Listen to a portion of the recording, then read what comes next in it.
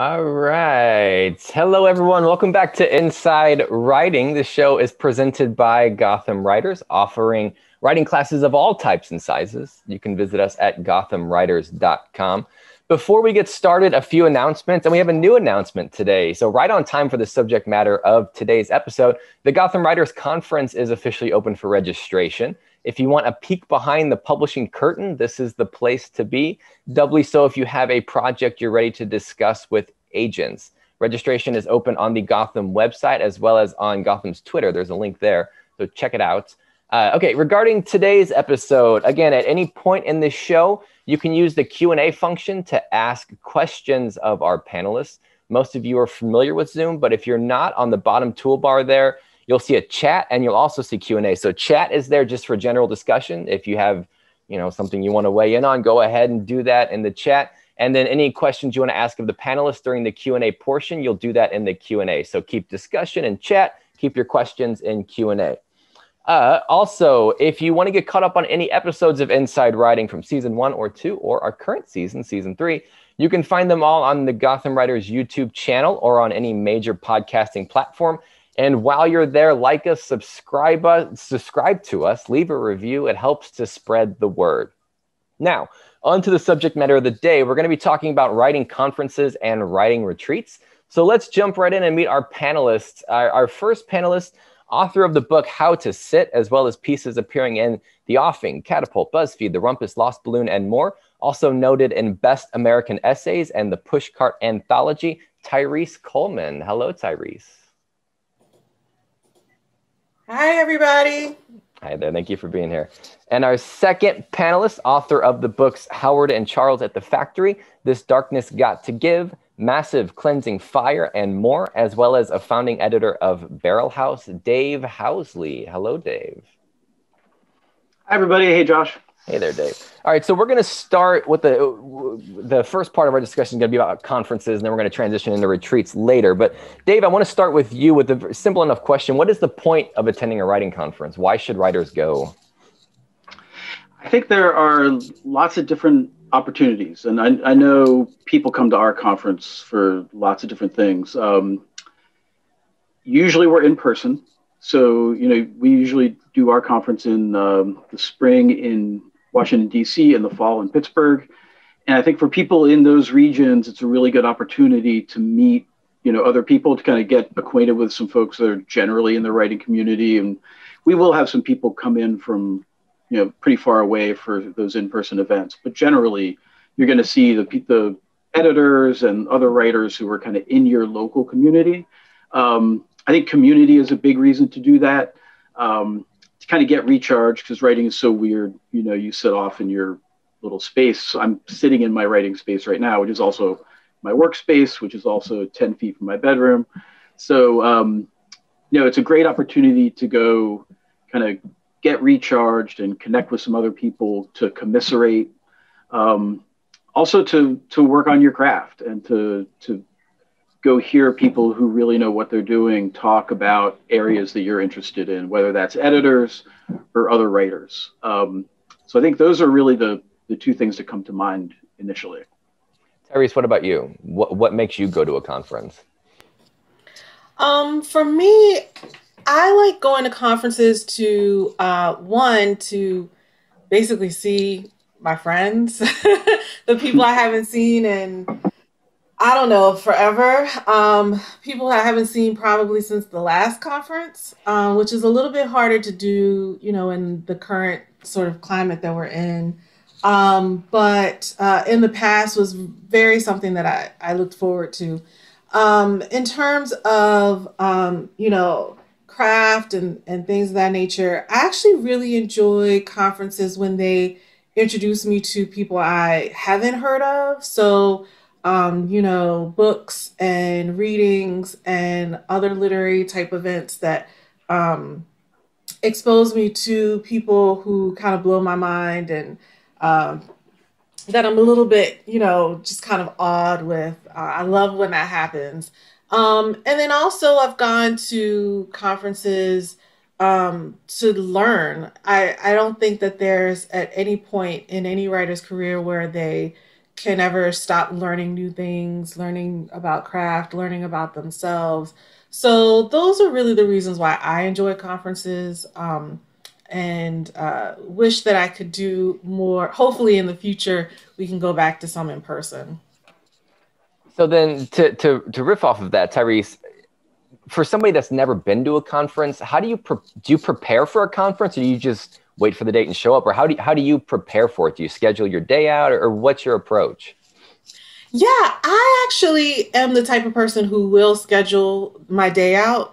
Um, I appreciate when conferences have the schedule available online prior to um, you know people uh, people's arrival, so then I can plan sort of which um, panels I want to attend, um, sort of plot out my day. Obviously, you know sometimes things will go in a different direction. Um, but for the most part, I will, you know, go through the pamphlet or go through their online scheduler and click the things that I know I definitely want to go to. Um, and then if I get, if I hear about something else, but I always have an alternative plan. So if I hear about, you know, something that's going on in another room or another panel that seems to be a little bit more along my interests, then I will switch. But I am definitely a planner for sure. Mm. Dave, what about you? How, how, can you how can writers best maximize their getting their money's worth, especially if they're traveling for a conference? How can they prepare themselves? I think it is a good idea to, to kind of look at the panels and presentations that are going to be happening and try to really hone in on what might be best for you. Um, because I've kind of participated in developing our like program, um, I always hear from people I'm having a really hard time choosing between this or this, and I can only go to one thing in this chosen time. So I always say like, look and see what's going to be best for you. What are you going to find out that you're going to be able to walk out of that session and be able to apply to your own writing, whether that's you're having trouble figuring out where to submit or you're having trouble you know working on something in a specific genre or finishing a story or something like that um, I always tell people to look for something that's going to be really useful to them. Like, depending on where you are in your writing career, you may not need to know how to negotiate the film rights for your novel, right? But you might need to know, like, how the hell did someone finish a novel? Like, so choose the thing that you're going to be able to take away, and it does it does help to uh, to look at who's going to be presenting.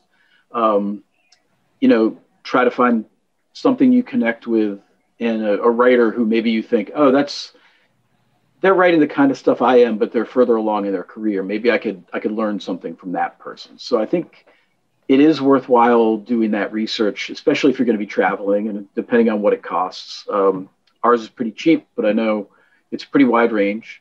Um, I would also tell people not to feel like there's some kind of pressure on them. I think sometimes people feel like especially if you're showing up for an in-person event kind of intimidated because there are all these people here you, you might think are, are really accomplished and who might be kind of judgy um, writers and writers conferences have a kind of bad reputation for being pretentious spaces so we always try i'm sure you do the same josh to make sure that our space is as welcoming as possible so those people who are new to writing won't feel like they're kind of entering into this really scary space and they have to get themselves all psyched up for it. So I wouldn't want to give people the impression that they need to get all psyched up in order to to enter into this space because it should be a welcome opening space for kind of all you know writers at at any level really. And dave it's, it's kind of funny because if you go out there and you look at these there's all these like survival lists of how to make it through a conference you have to stay yeah. hydrated you have to get granola bars do you buy into that? Do, do you have to like have a survival pack to make it through a conference? Is it is it that high energy? I don't think so. That's that's again why I I kind of want to tell people not to psych themselves out too much and not to worry too much about you know like first day of school kind of thing where you're going to be getting judged. Um, you know, a lot of us are at the same place. And I know at our conference, we try to make sure it's very welcoming. I know at AWP, I see a lot of these lists of people, you know, like, remember to drink water, um, which is certainly good advice.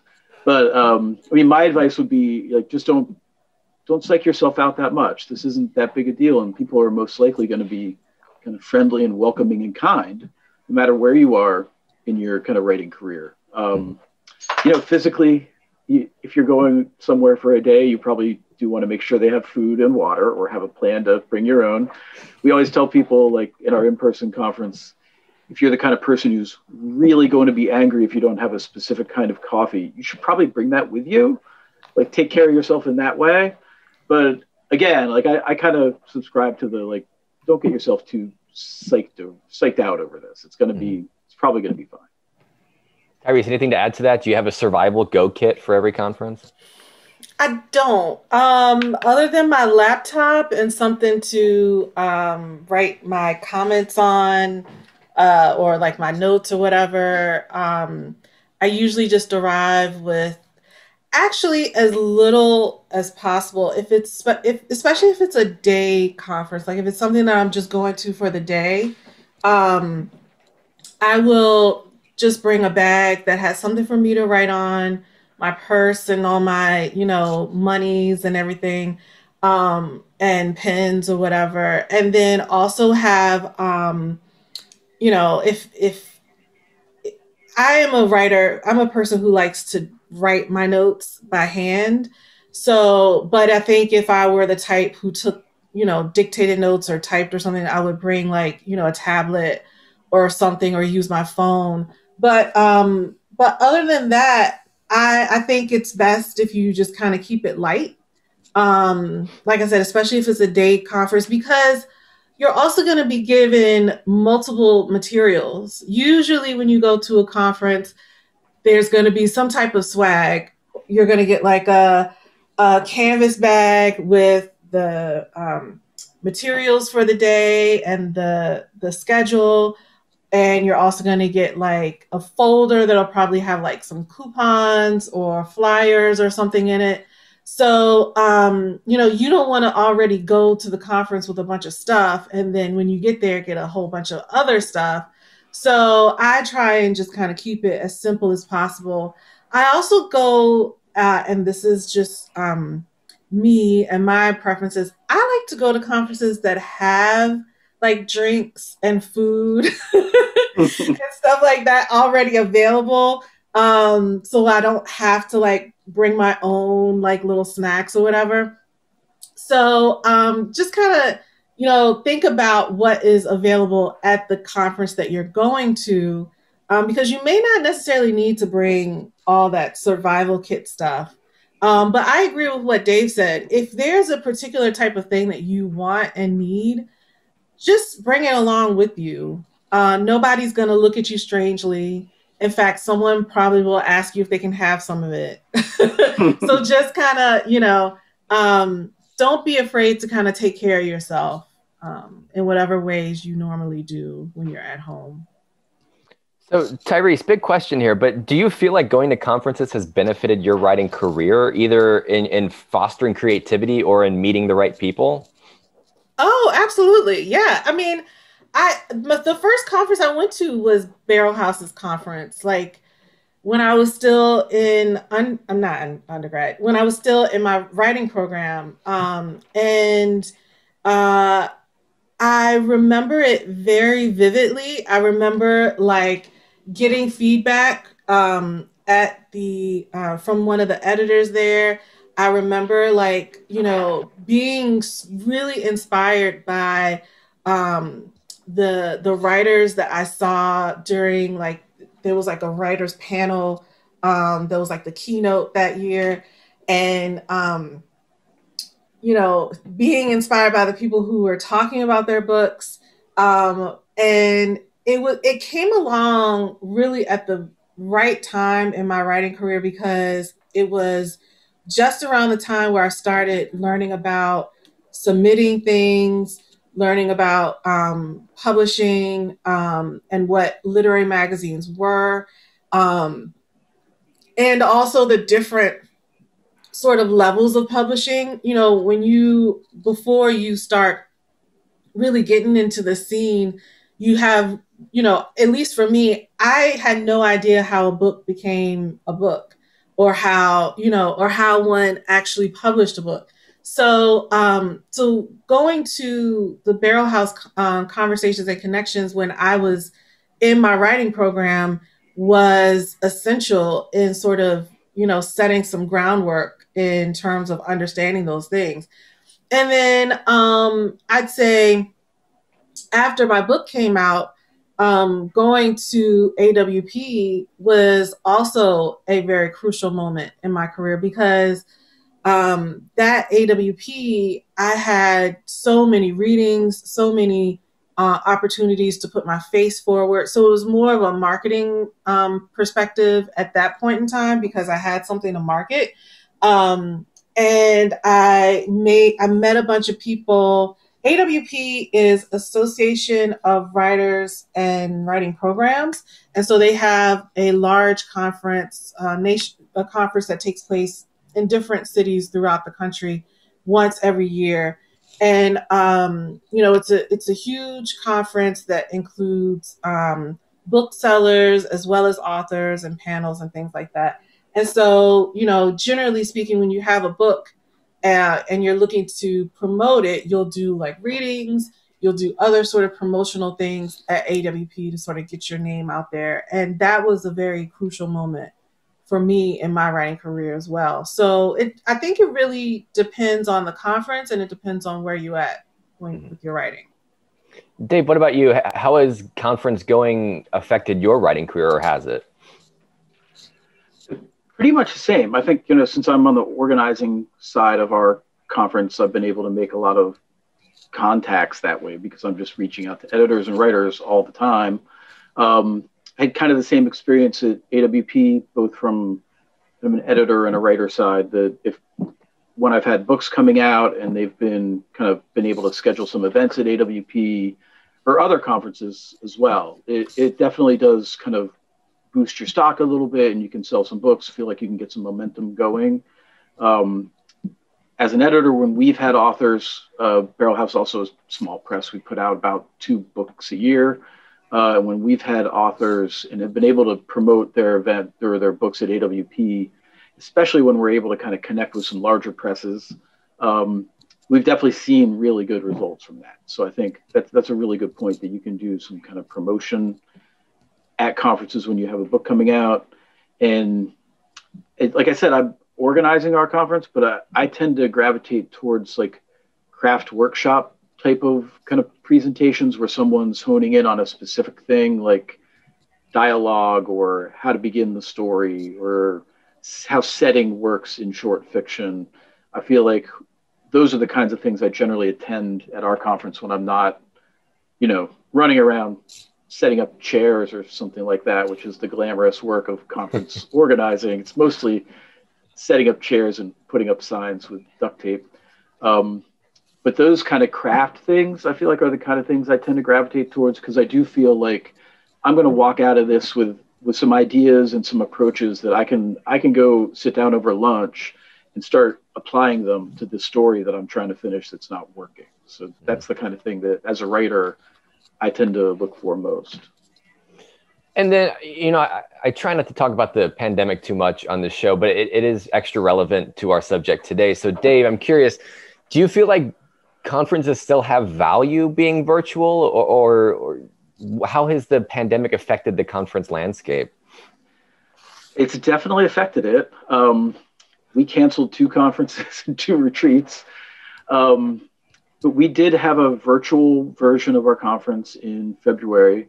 Um, probably should have done it much sooner, but despite the fact that my real job is is doing web strategy for Penn State, I kind of froze up and was like, I just don't see it. I, I, I don't see how we can kind of take this and translate it. As it turned out, it, it was pretty easy to take it and translate it, and it was a lot of work behind the scenes. But I thought that our virtual version really did have a lot of value. Um, and we had more people there than we've ever had at an in-person conference. Um, even though we shut down and we reached 200 tickets and then stopped it because I was telling you earlier, Josh, I wasn't sure how it was going to go, and I wanted to fail in front of 200 people instead of 400. So um, but the really cool thing that I thought had tremendous value is that there were people there from all over the country, people there from all over the world. We had people from Nigeria and India.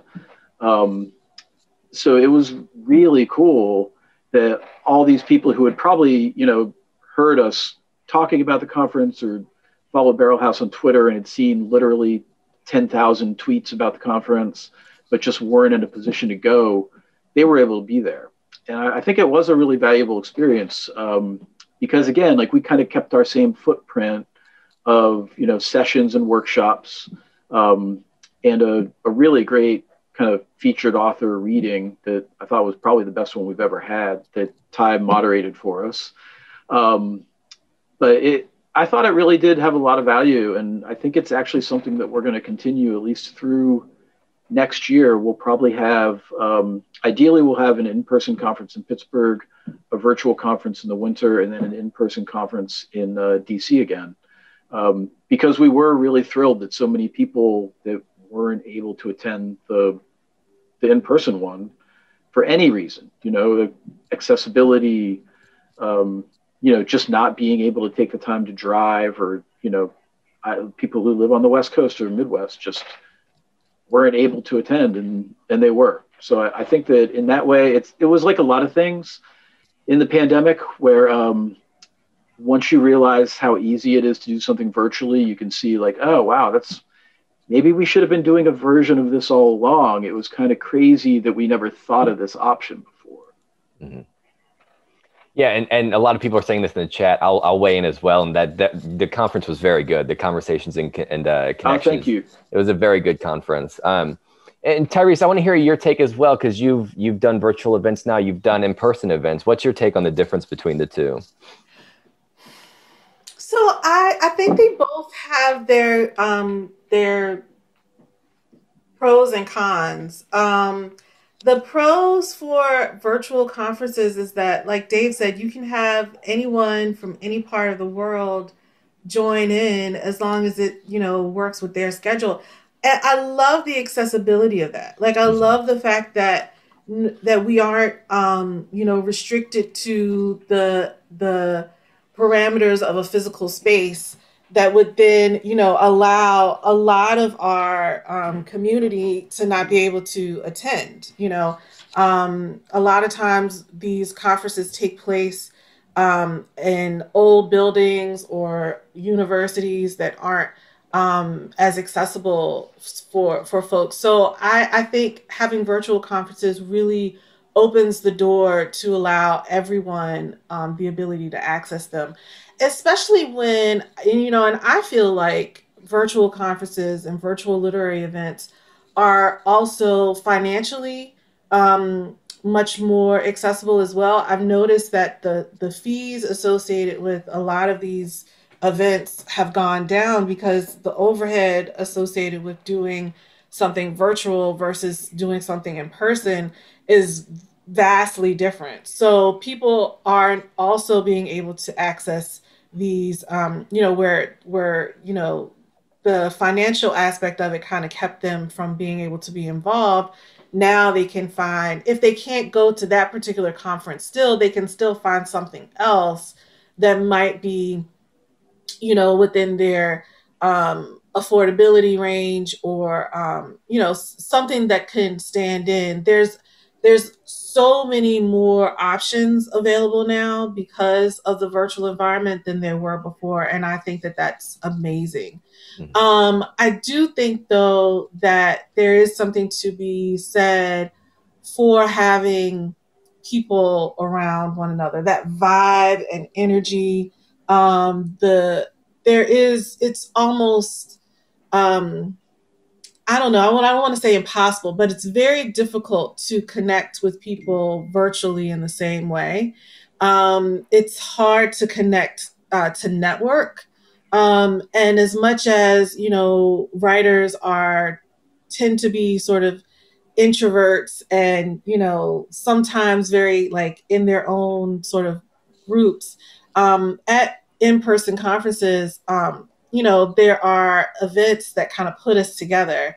and allow us to get outside of our, you know, sort of um, social bubble so that we can network and and meet up and make friends and things like that. So so those are the things that I I miss about in-person conferences.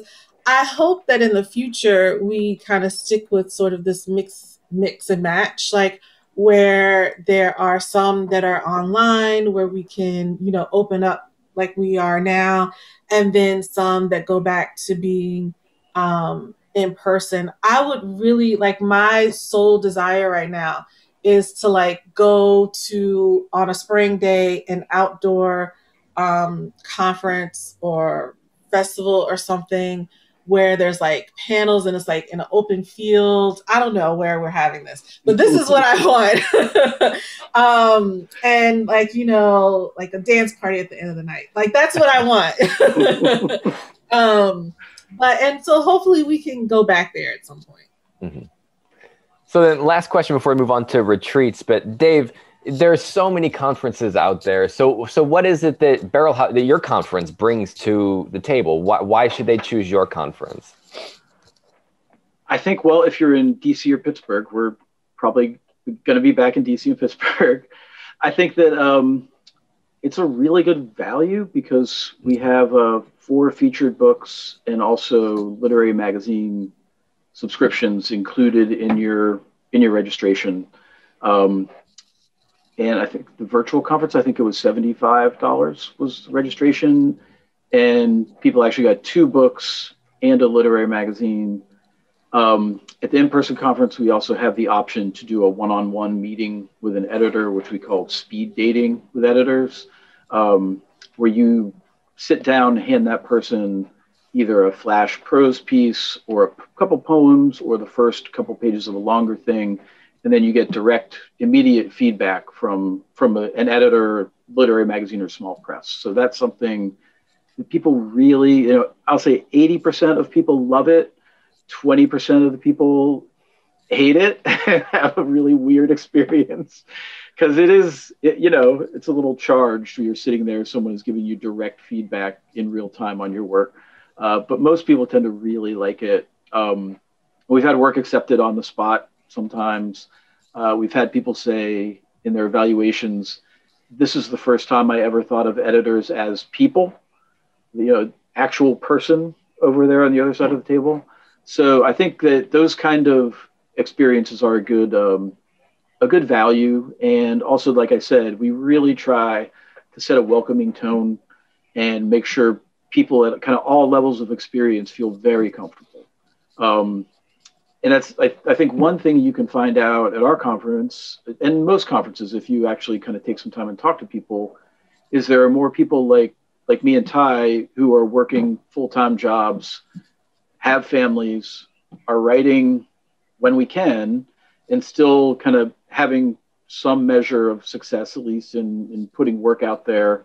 Um, that's one of the things we always try to get across. And I know we talked about that in the, the featured author. Um, actually, I asked you that question, Ty, at the virtual conference. so I think that's, that's one thing that we always try to make sure gets across that not everyone is Stewart O'Nan, you know, putting out one book a year. There's many more of us who are working regular jobs, taking care of our kids, doing whatever else we have to do and, and trying to squeeze in enough writing time to, you know, get 200, 400, 500 words down a day. And I think that that, that tends to come through at our conference because it's something we really want to cultivate. Mm-hmm. Tyrese, are there any conferences you've gone to that you feel like rise above the pile? Oh, rise above the pile. Um, that's a really good question. I think I found um, value in pretty much every conference that I've gone to. I I think, like I said, I think it's more so just what you're looking for at the time. Um, I've gone to conferences that felt really like down to earth, like the Barrelhouse conference, and then conferences that felt really super um almost like you're in like a work professional kind of conference setting like almost like you're at a trade kind of conference um and so i think it really depends on what you are um also your personality too because while I, you know, I feel like Barrelhouse's demographic is um, they're a lot more down to earth. The folks that go there are a lot more down to earth. Um, sometimes they are also people who are it currently in like their MFA or emerging. Um, and so sometimes, even though the age range is vast, you'll find a lot more younger people, I think, in the audience. I went to um, the Grub Street conference in Boston, and that felt like, you know, there were people dressed up like they were going to work, um, you know, wearing uh, very professional attire. Uh, it was in this like very grand hotel in Boston. Um, and we got breakfast every morning, uh, lunch every day. Um, and the I would say the demographics of the folks who were there were a lot old, not a lot older. I mean, granted, I'm, you know, but they weren't, um, you know, MFA age folks. They were like probably in their 30s, 40s, 50s, you know. Um, but it all felt like at both conferences, the individuals who were there were in the same sort of place professionally, if that makes sense. So everyone was still still learning about craft, still learning about publishing, still learning about um, you know how to write and promote themselves and things like that. But it was but depending on sort of like um, also the price range for Grub Street was um, you know much more expensive. Um, so so it really it it was a very different vibe between the two and i think you as knowing who you are and your interests and and um, sort of your um, your own personal demographic um, deciding on which one to go to is probably you know based on who you are and yourself um, also a really important thing for me that i learned is that I'm not suited to go to every single conference. Um, while I really enjoyed Grub, the Grub Street conference, I did not enjoy Boston. So I think it really, you know, so now when I think about, you know, honestly going to Boston in general, that's something that I have to kind of consider. Do I want to, even though I really, really, really enjoyed the conference, do I want to go back to Boston? It's it's there are things that are, you know, outside of just going to the conference that you have to consider as well. Mm-hmm. So there's a, a, question in the Q&A that I want to get to real quick about recommendations for specific conferences and where to find them. So I, I actually just wanted to point out uh, New Pages is a great website. Poets and Writers has a, a database. Uh, Writers Digest always does a conference roundup. So does the Writer Magazine. Um, so there's tons of, of websites out there where you can find the conference, uh, just a, full breakdown of conferences. Um, all right, so I want to move on to retreats now, uh, talking about writing retreats. So, um, Tyrese, I'll start with you here. Um, it's again starting off similar to how we did with the conferences, but what do you see as the point of a writing retreat, and how how does that differ from a conference? Oh, writing retreat and conference, they're completely different. a retreat is where I am there to write. I probably would never, I mean, I don't even know if I've ever written anything while at a conference. Um, it's a conference is mostly, in my opinion, a place for me to learn. A retreat is a place for me to practice. Um, and so that's the the major difference in my mind. Dave, what's what's the point of a retreat, especially bringing in uh, Barrelhouse's Writer Camp? What's the point of it? What why should people go? I agree with Ty. Um, I guess first of all, Writer Camp is a short retreat, so it's a short retreat, either three nights or four nights. We generally do two sessions each summer. We're actually currently I have a call with the, the person who runs the hostel where we have the retreat um, tomorrow with uh, Becky Barnard, who's our editor, who runs writer camp for us. Yeah. so um, we're trying to figure out if we can do it this summer, but it's a, a three or four day retreat um, in kind of central Pennsylvania, about 15 minutes from where I am right now in State College. And um, all the food is taken care of. So the, the place where we have it is this, this hostel that this guy built along a creek in central Pennsylvania to model these places he stays at when he goes on surfing trips in South America. So um, it's along a small creek in Pennsylvania and not a big, beautiful ocean. But other than that, it's pretty much the same. Um, they they make all our meals for us. They make a campfire at night. So um, you know, as, as again a person who has a full time job and a family, um, to me the the wonderful thing about that retreat and, and other retreats is just having time to spend just on my writing or on reading or on hanging out. And i you know i tend to do all those things. I try to do all those things when i go to even these short retreats um, just to kind of recharge my batteries and have a couple days when there's nothing i have to worry about um, literally other than trying to get my own work done and get to know some other people who might be there. Um, so yeah to me it's really that blank space of time, which I literally never ever have in my real life. It's a chance to to have that and to get kind of recharge my batteries and, and come back feeling like um like all right, I I now I can kind of get back to my usual chipping away 45 minutes here and a half an hour there. And and Dave, is there a right time to go to a retreat? Like, do you have to have a certain experience as a writer, or can anyone go?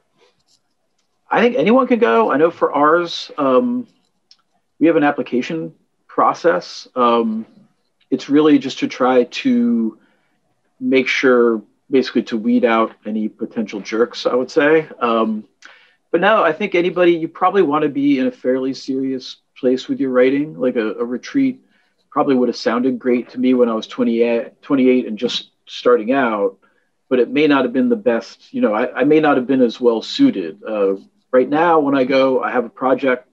Um, I kind of give myself, um, you know, I, I want to get this many words done per day. So I'll kind of go with a specific project in mind, probably also with some editing projects in mind, and say, this is what I'm going to get done each day. And then I'm also going to go for a long walk or, you know, finish this book. Um, so I do think it, you know, for me, it works best when I have some specific thing in mind. I don't, I don't know that I could go um, especially on a longer retreat, and just say, well, I'm going to work on whatever. I think the, the way my brain works now, kind of having such little time to work in general in terms of writing, that uh, my brain might just explode if I had like 14 days and not a specific thing to work on. I'd probably do nothing at all. So I try to make sure I have some goals and and you know generally make them so they're pretty easy to meet too. Mm-hmm. Again, I try to put not too much pressure on myself, but just enough to be marginally productive. Tyrese, is it the same with you? Do you feel like you have to have a, a project in motion to go to a retreat? Um, I think it helps. Um, I feel like otherwise it would be, I don't want to say a waste of time because I don't think any time to yourself is a waste of time. But to be more productive, yes, I think having uh, an idea of something that you want to do, um, you know, would be helpful. Um, but it doesn't necessarily always have to be writing. It could be reading, and you know, like Dave said, it could also be editing. Um, you know, I'm a parent and I work full time, and sometimes retreats are the only time that I get an opportunity to check my email. so so I think it's you know it really um it is helpful to have a project, but it's not you know I I also find that it's also a place where I get a lot of inspiration for new projects and new writing.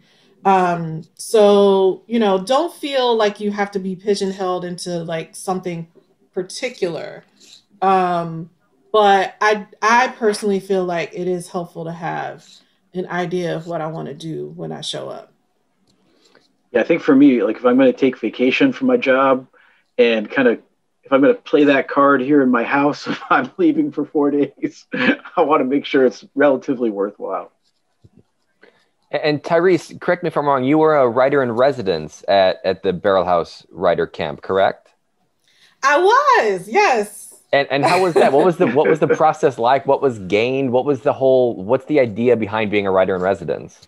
Well, so I, it's a different ex- experience than just the typical person who is at writers camp just to kind of use it as a writing retreat. So while I'm there, I'm almost I'm not quite to the level of staff as like the Barrelhouse editors, you know, they're putting on the show, they're making sure things are running correctly, people are in the right rooms, nothing, you know, bad is happening. Um, but I am also not like the typical um, camp goer in that my entire time there is my own. Um, so I meet with uh, campers who are looking for some guidance on their work. And so they send to me, um, uh, you know, things that they have in drafts beforehand, and then I read them. And uh, it's usually like two or three people, and I um, try and, um, you know, I'll have a meeting with them and I'll organize our time together uh, I try and schedule a time where we're all three meeting one another, meeting together to do something um, useful and and sort of uh, craft related together, and then I meet with them one on one to talk individually about the pieces that they sent me. So um, you know, it's very informal, and yet I think I think that the setting of the um, of writers camp as well as sort of the you know sort of feeling like you're a part of nature you know out in the not really the wilderness but like almost like the wilderness you know? Like feeling like you're kind of there to commune with one another in a different way i feel like that opens the senses to creativity. So when i try and meet with the people that i've been assigned to um, a lot of the things that I will work on with them will focus around sort of connecting to to themselves as well as connecting to their writing. So um so yeah, so it's a balance. And then I and luckily because you know I'm in between uh being a camper and being, you know, running the show, I still am able to, you know, have time to myself to do my own work and write and things like that um, and read. So um, I don't know. I, I find it to be uh, very enjoyable. I, you know, because I get to like sort of keep my mind processing in like the practical sense, but also I'm working creatively as well. So I enjoy it. Yeah. Mm-hmm. Yeah. Everybody has the option to to workshop two pieces with an editor or um, visiting writer. So um, that's literally the only kind of program that we have. We're pretty anti-program, and just the rest of the time is yours to do whatever you want. Mm-hmm. So I want to start pulling in some questions from Q and A now, just to make sure we get to all of them. Um, so first one, I'll pose it to both of you. Dave, we'll start with you. How do you prepare for a retreat? It seems difficult to suddenly have the pressure to produce for so many hours straight. I like I said, I try to put low expectations on myself, um, but kind of marginal expectations. Um, I try to do like I said a word count and try to have a specific project. Uh, I was just on a retreat not long ago um, and kind of said I want to do 25 words a day, 2,500 words a day on this novel in progress, and I just want to keep on moving forward. And I also had a kind of a manuscript for a chapbook that I wanted to read, um, and I wanted to go for a long walk every day. Um, so for me, again, if I'm going to be taking, you know, literally using my vacation, you know, putting my partner in a position where she's kind of running the house here, we do have a son.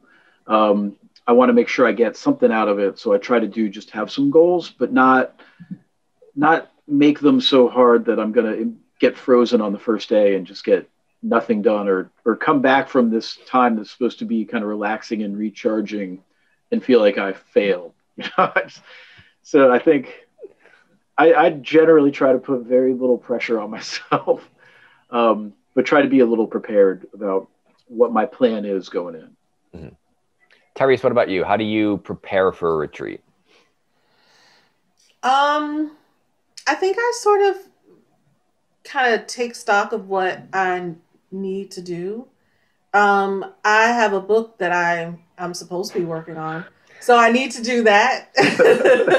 um, and so I kind of uh, put the things in my bag that I feel like I could use to kind of help um, work on that particular project. Um, so that's how I prepare. I think a, a, another question, and I don't know if this is in the Q and A or not, but um, a related question is how do you um, create a retreat? Because sometimes retreats, you know, you can do a, a retreat that isn't something formal or put together by someone else. Like you can make your own retreat. So you can go to, you know, a way that I can prepare for my own retreat is to book an Airbnb for a weekend. And that's my that's my retreat. That's me preparing for a retreat. I'm going to an Airbnb, maybe close by, um, just for the weekend. I'm going to take a book or just my laptop or something. And that is my preparation for a retreat. I think it's very low key. Um, that's what I really enjoy about retreats in general is that there's so much more freedom. Mm-hmm. Yeah, and I've done that before too. Just had people come here to my house, um, said, "All right, you know, my wife and son go away for the weekend to her parents' house or whatever, and we say, all right, from Friday through Sunday, you know, we're going to write during the day and hang out at night. Um, and it's pretty much a, you know, no cost retreat.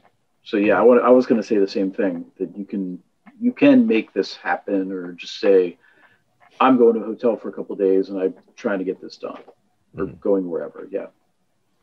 Speaking of costs we are getting some questions about costs So next next question, Dave, I think we'll start with you again on this. Retreats often cost a lot of money. Do you feel there is a break point where the cost outweighs the benefits? I think that's definitely a personal question. Mm-hmm. Um, and we're all kind of all over the place in terms of costs. I'm actually pulling up Writer Camp website right now to, to look at what our retreat costs. So ours is $500 for the three night camp and 600 for the four night camp. And I can tell you that we make some of that. Most of that goes to the hostel um, because they are preparing every single meal for us. So a lot of that just goes into the meal costs. Um, and it might be unique that we do have that option to provide every single meal. Um, but it's definitely a personal choice. And, and I think you'd have to weigh that idea of like, do I just go to a hotel room or send my partner away for the weekend? Um, can I get that same kind of thing? We always have a, a pretty large percentage, maybe one third of the people at camp who are parents who are there specifically um, to get away from their family and really try to work on something for three or four days. Um, I think that that length of time seems to work for parents. It works for me as a parent. Um, so yeah, and, and I know there are lots of other ones that are more expensive, but also provide more programming. Um, so that's another thing to consider. You know, if you were to go to the Tin House, um, I, I, think there's called a workshop rather than a retreat, but I think it's kind of a combination of both and, and kind of a conference too. Like I think that would be more expensive, but also would give you a much more programming and a much much more of kind of a schedule and a chance to meet a larger number of people. So I think that it's really a really personal thing depending on um, your own situation. Tyrese, anything to add to that? No, I think that the, that is probably more important for the person to decide what they need before they start looking at retreats or conferences. One of you know, like Dave said, one of the things we didn't talk about were workshops, which are different um, things as well. So, um, you know, figure out what you need and then decide sort of which way to look. Um, because if you do need programming, um, then you want to find something that has a little bit more of of of those things involved. If you just need a place to go for time away, then you can, uh, you know, figure out that as well. And I, you know, and I think cost is, um, cost is something that if you are looking in the right places, um, you might can find uh, a place that has a scholarship or um, you know a fellowship or something that will pay for those things for you. So um, you know, try and look at you know, fellowship pages, like you said, new pages, um, poets and writers. There are places that you can go to search for the ability to attend conferences and retreats and workshops where you get a scholarship. And that will help. Next question, Tyrese, let's start with you on this one. Any tips for first timers for networking with other attendees before a conference? Oh, before a conference. Well, I, you know, it's funny. I, um, one of the ways that I met uh, Nafissa Thompson-Spires was that we were both a part of a Facebook group and we were both going to the Tin House workshop. And I think I either uh, either she one of us posted in that Facebook group, anyone going to Tin House let's hang out. so that and so so when so we connected on Facebook and we exchanged phone numbers and we just like stuck together once we got there and everything was fantastic. So I think um, if you are part of any social media, um, you can just tweet or post in a, a Facebook group or or something um, and say, "Hey, I'm going to be at X conference next week. Anybody going? Anyone want to have lunch? Whatever. Um, another way I think to um, pre network is, especially at um, AWP, is to, um, or any type of conference that's like that, that has outside activities, look and see like sort of what journal, whatever journals or whatever presses or people that you like, look to see who um, is having like a, an event during that week. And it may not necessarily be pre networking, but it's sort of like your ability to plan your networking once you get there. So, like if you want to go to a smoke house, a SmokeLong um, quarterly reading, you know, you can look up when their readings are going to be and then just, you know, kind of go. I personally would probably try and get there a little early so I can have a conversation with, you know, whoever's kind of sitting around um, and also is there early to kind of, you know, get a conversation going, things like that. So, um, part of it is just kind of like doing your research, and then part of it is just kind of putting yourself out there on social social media and saying, "Hey, I'm gonna be here. Anybody want to have lunch?" You know. Mm-hmm. Dave, anything to add? No, I think that's really good. That's a really good answer. Um, I, I think Twitter is good for this kind of thing. Um, I always tell my when I do online workshops, I recommend that they follow literary magazines, especially on Twitter, and writers they like. Um, things like our conference or Writer Camp or the Tin House Conference. Um, you're you're likely to hear about things like that on Twitter, and you're likely to be able to interact with people speaking at, organizing, or or going to those places too. Mm-hmm.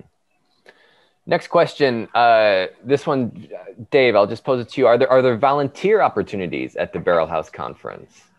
There are. Yeah. Um, I should say we're all volunteers. None of us get paid uh, who run Barrelhouse. So that's the reason we. One of the big reasons we still exist. Um, but yeah, we do um, we do have volunteer opportunities both in person and um, on the virtual conference. And um, this time around for the virtual conference, I think we just had folks who we knew. Really, I think it was mostly people that we met at the in person, various in person conferences, and got to know. Um, actually, you know, over the course of a couple of years, who reached out and said, "Hey, I'd love to volunteer for this um, if there's any opportunity."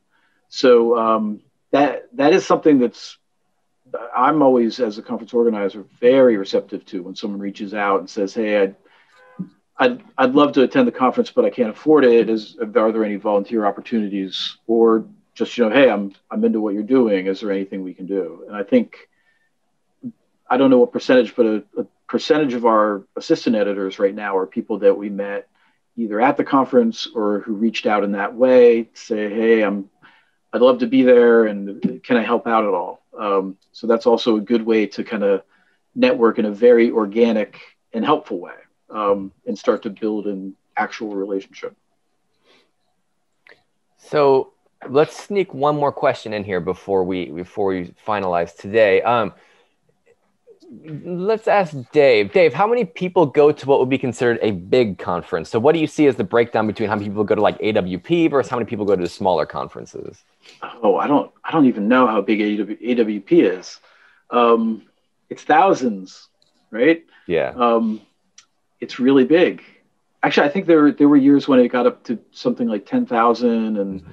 I know that they had to make a decision that they could only hold it in um, conference centers and couldn't do it in hotels anymore. So that's a really big one.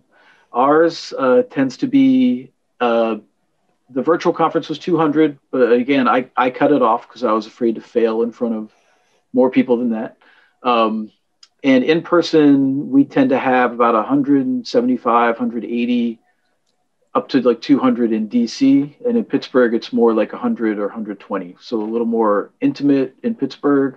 Um, DC actually feels pretty full in the spaces that we're in. Um, 200 people feels like a, about as many as we would want, kind of for the space that we have. Um, we also rely on donated space. So George Mason University in DC and Chatham University in Pittsburgh, um, just they host us for free.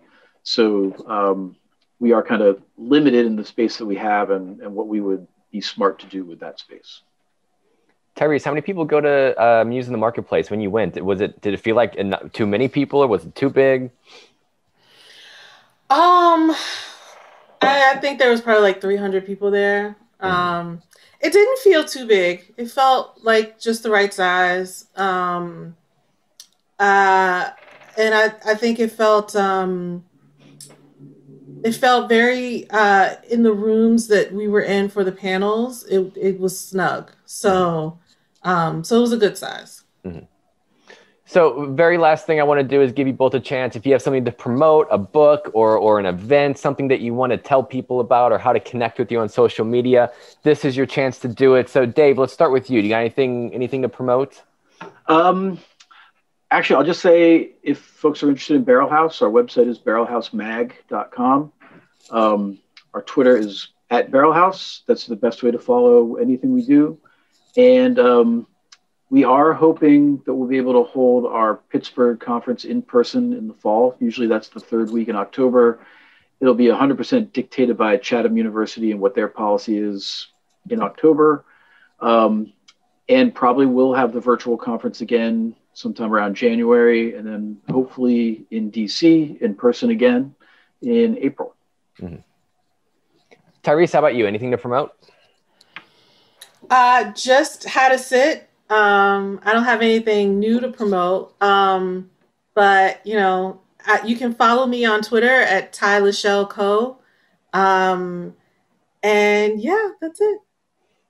Awesome. Dave, Tyrese, thank you both so much for being here. To our listeners, we'll be back. We actually have a special episode tomorrow um, about writing resources for the BIPOC community. So tune in for that. And then next week, we're going to be back, and I forgot what the oh, uh, we're going to be talking about publishing advances and what you can expect to be paid in publishing. So we'll see you then. Again, Dave, Tyrese, thank you both so much for being here today. Thanks, Josh. Thanks, everybody. All right, we'll see you all later.